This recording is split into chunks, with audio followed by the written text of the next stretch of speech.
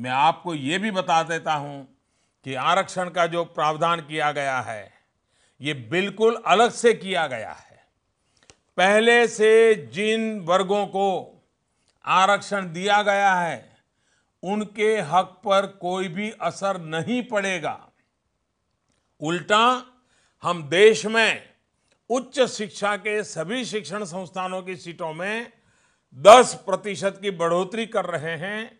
और ये इसी सेशन से लागू हो जाएगा।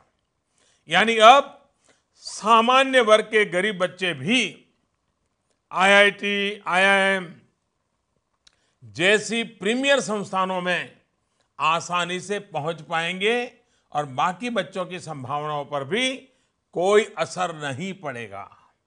रही बात अफवाह की तो अफवाह फैलाने वालों का काम ही यही होता है। ये आरक्षण देश में आरक्षण की एक नई कैटेगरी है।